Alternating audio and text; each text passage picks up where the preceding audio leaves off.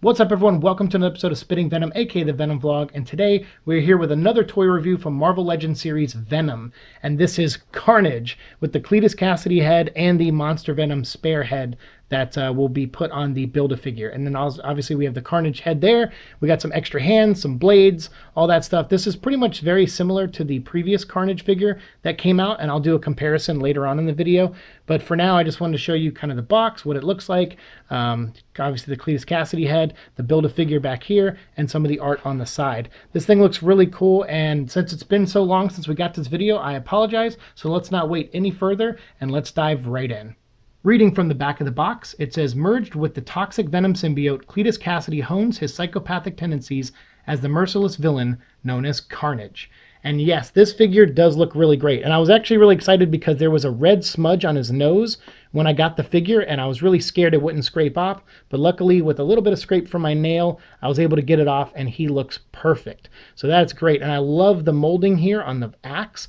Uh, as we know from the comics, Carnage was able to create solid objects, unlike Venom, who could only make like liquidy type stuff. And he could make shields and things to like, you know, absorb bullets and, and block bullets, but he could never make a hard construct that he could use to stab or kill somebody with. And that's pretty great. So this looks fantastic that we have these uh, demonstrated in the molds. And we do have alternate hands, which we'll put on here soon when we switch the heads. But then you also got all these other tendrils coming off them. And some of them are kind of part of him in his hands here. They're kind of weaved in. But this one is actually detachable. You can actually take this off. Um, but uh, I, why would you? Like this thing is just looking too cool, and I love the design of him overall. And of course, he has all the standard uh, points of articulation. He has the ball joint in his shoulder. You can hear it clicking there, which is great for stability to hold up this axe, which is very much needed. Uh, then you have the elbow joint. You have the wrist turning as well. Same with this hand. Everything's the same. You got the torso bend. Uh, you got the waist swivel. You got the ball joints in the legs, and then the swivel in the upper thighs. The knee bends in two spots, as usual from all these characters.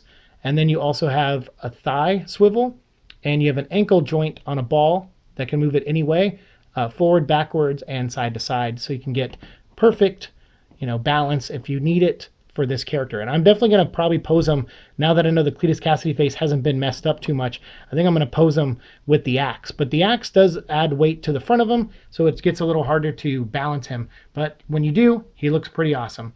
So now let's take a look at the alternate heads and the alternate hands.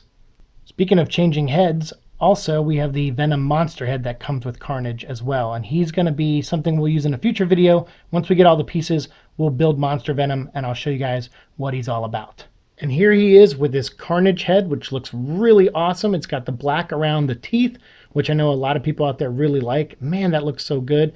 I'm digging on that big time. And then also you have the new claws, which are just, you know, knife shaped fingers pretty much on both hands. So you don't have the axe, you don't have any other things coming out of it, any extra tendrils.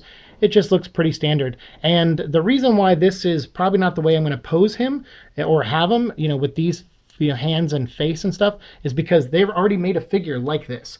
And that would be this character here, uh, as you can see, they're almost identical, and this came out a few years ago in the Marvel Legends line, and I had to get it because, you know, I didn't have a Carnage figure at the time, but I do now, and I have two, and so one is going to be posed with the Cletus Kasady head. But this one on the right here is one of the older ones, so you can see Hasbro just used all the same pieces and just added some new stuff, which I'm totally okay with. Plus, mine had a, like a really broken torso, so this guy has always been hard to stand up. Like, he falls over really easily sometimes. And he has a bad leg as well. Like back here in the hip area, he just bends and falls really easily. So I've always had a problem standing him up. As you can see, he keeps tilting over here.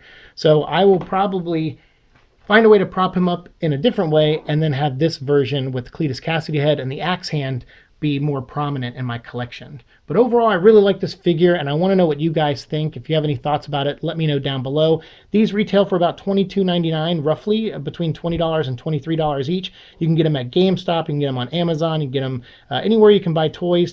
Walmart if you can find them. I know there's a lot of people out there that like to go and buy these things right when they come out and leave none for collectors or people who are just casual fans. So that's kind of a bummer. But if you do get your hands on one, you know, I would say they're worth it up to $25.